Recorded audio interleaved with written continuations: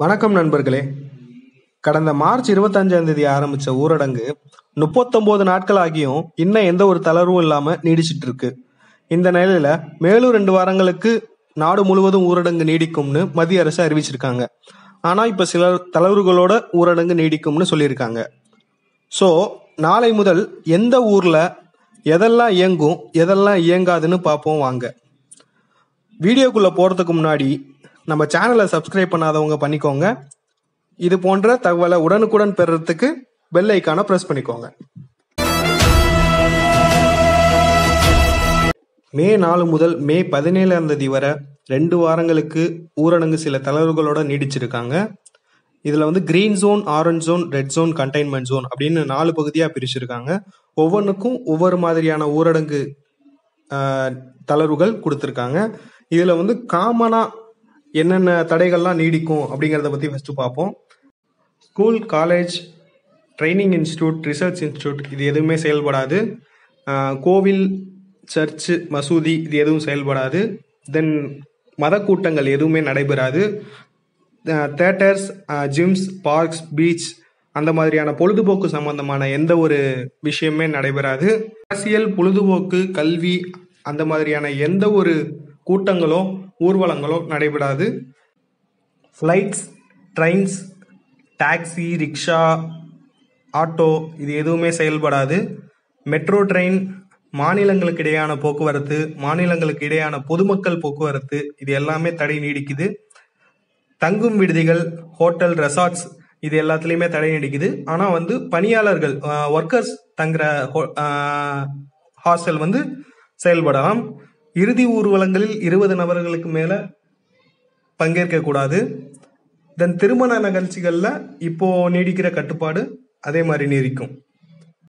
First containment zone அப்படின்னா நோய் கட்டுப்பாட்டு பகுதிகளில் இப்போ நீடிக்கிற அதே கட்டுப்பாடுகள் தொடர்ந்து நீடிக்கும். எந்த ஒரு நிகழ்ச்சியும் அங்கே நடைபெறாது. எந்த ஒரு கடைகளோ எந்த ஒரு க பணிகளோ அங்கே நடைபெறாது.